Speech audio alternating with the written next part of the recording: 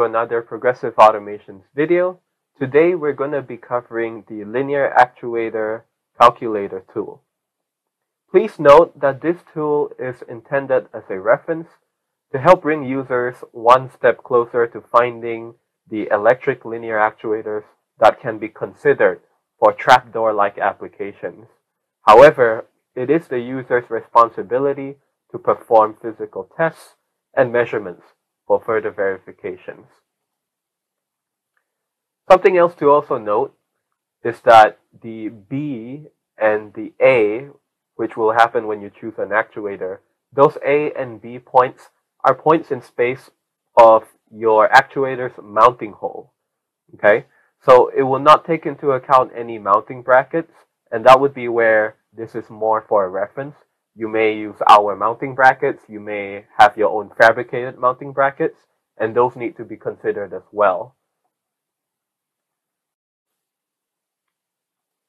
So, for a trapdoor, we're going to need to know the different measurements on our tool that we need to account for. So we have the width, the height, and the weight of the door. A few things we're going to need to estimate is the angle of the lid, the mount position of our shaft for the actuator. We're going to predict or confirm how many actuators we're going to end up using. By estimating the weight of the door and the approximate size and scale of the project, we can estimate the type of actuator or predict the type of actuator we're going to use. And for the stroke length, this is going to be one of the variables which we're going to be adjusting until we find a suitable recommended product, which will pop up over here. So this is just an example for demonstration purposes only. We have a wooden door which is 113 pounds. We have a width of 37 inches.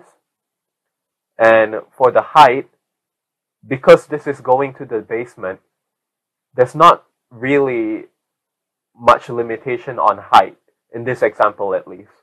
But we'll just say it can be within 32 inches, just like this length, for example.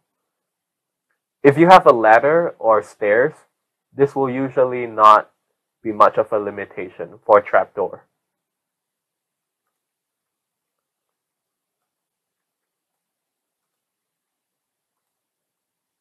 So we're going to plug in the values here.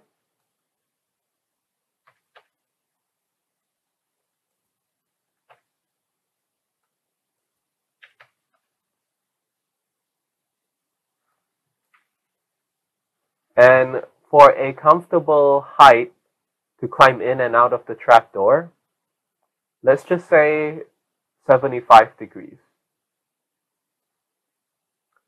Just an estimation.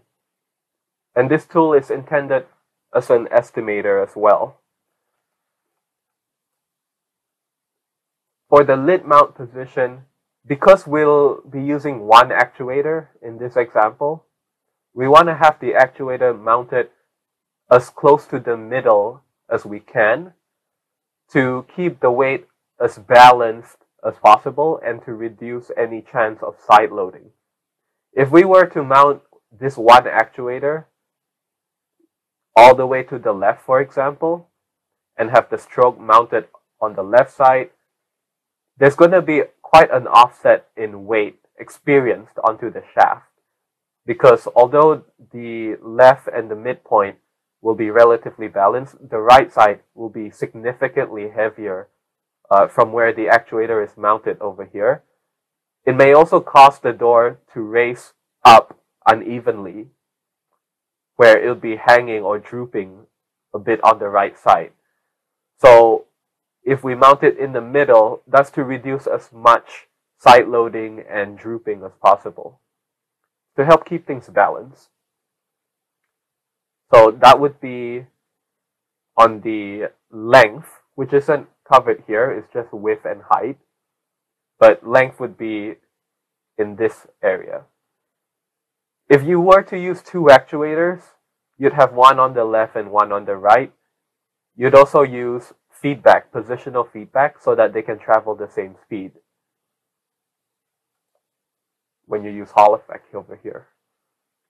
But we're going to use one actuator in this example. This is a PA04 actuator. And let's just start by estimating a 4 inch stroke length.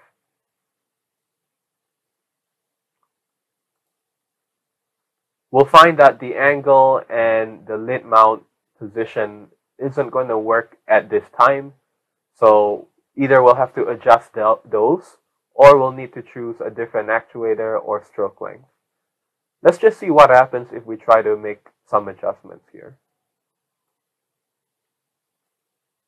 So over here, although it will work, the actuator will move and open the lid of your trapdoor. It's not going to be a comfortable angle to climb in and out of. So we're going to change it to something comfortable. We're going to actually keep, but we're going to try and move it to 75 degrees. Would say that would be comfortable or, or higher. And we're going to try and at least keep it at 75 in this case. Let's try and choose a longer stroke length.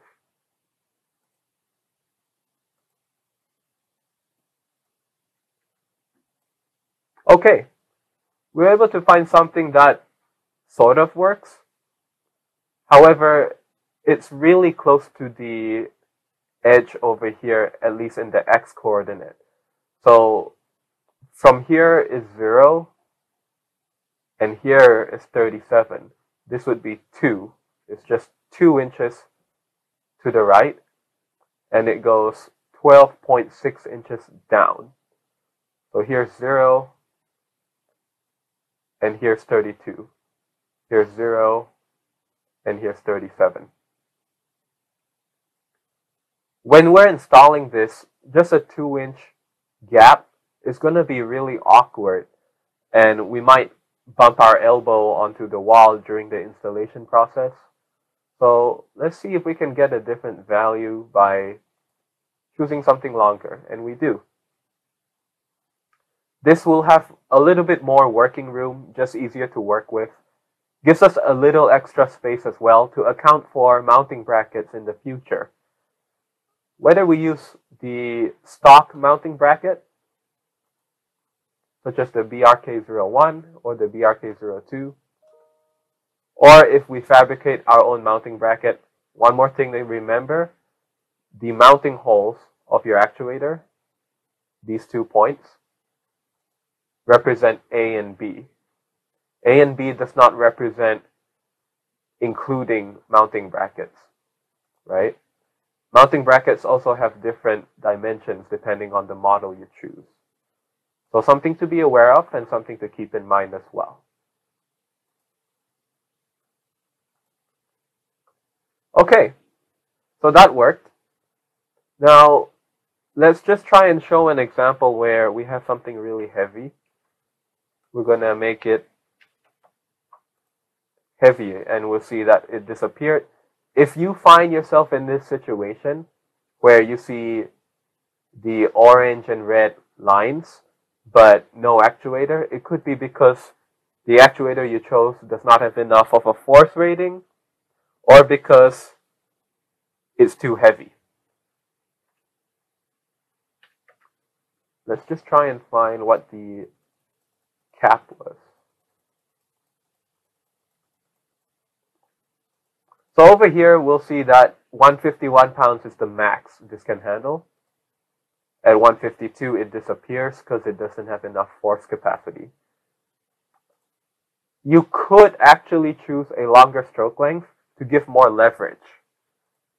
You see how the points B stays the same, but A actually moves backwards, and your stroke has a longer travel, which allows for more leverage, where your actuator has the same force rating, but it can handle a little bit heavier of a load. So that's actually an advantage of having a longer actuator in this case. You also get a little more working room too. Just something to keep in mind when you're using our tool. And we hope you found this video helpful. If you have any other questions at all, we'll always be happy to help you by phone call at 1-800-676-6123. You may also email us sales at progressiveautomations.com. Thank you.